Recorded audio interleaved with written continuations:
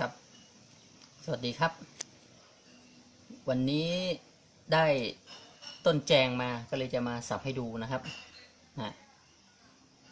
เนี่ยนะต้นแจงเป็นสมุนไพรชนิดหนึ่งที่มีลายไม้สวยงามนะครับ นอกจากม้ากระทืบโลงนะฮะกำแพงเจ็ดชั้นนะก็จะมีต้นแจงที่มีลายไม้สวยชัดเจนนะครับเนี่ยนะครับ จะเป็นลายไม้ ห็นวงปีสวยมากครับ เป็นไม้ที่มีที่มีวงปีสวยนะฮะเป็นลายชัดเจนแบบนี้นะครับ จะเป็นเอกลักษณ์ของต้นแจงนะฮะกิ่งไม่ว่าจะเล็กจะใหญ่จะมีลายไม้ที่สวยงามเหมือนกันนะถ้าเป็นกำแพงเจ็ดชั้นก็จะเป็นลายแดงชัดเนาะลายแจงจะเป็นลายเล็กๆนะฮะเนื้อไม้จะออกสีน้ำตาลอ่อนนะครับนี่นะครับ อันนี้อันนี้กิ่งใหญ่พอสมควร ตัวนี้จะมีรสขมเมานะครับ ขมเมาตัวนี้จะ แก้พวกถ่ายกระสายนะฮะแก้กระสายแก้ปวดเมื่อยได้นะครับ จริงๆ ใช้ส่วนของรากนะครับ แต่ว่ารากแจงถ้าเราขุดมาใช้เยอะๆต้นก็จะตาย ก็เลยใช้ส่วนของกิ่งก้านมาแทนนะครับนะแต่ตัวสรรพคุณจริงๆอะดีจริง ๆ ใช้รากนะครับ ส่วนของใบนี่เราเอาไปเข้ายาลมนะฮะ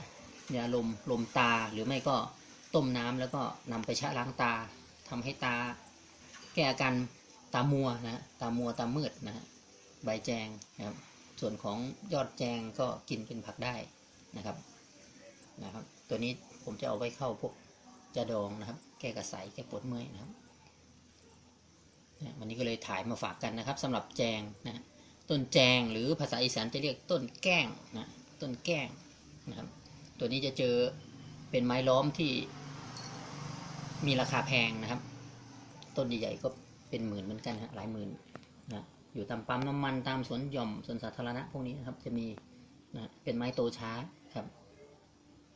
ครับก็เท่านี้นะครับให้ดูลายไม้ครับ ความสวยงามของแจงนะนี่นะครับเนี่ยกิ่งเล็กๆลายก็ยังสวยเลยนะครับ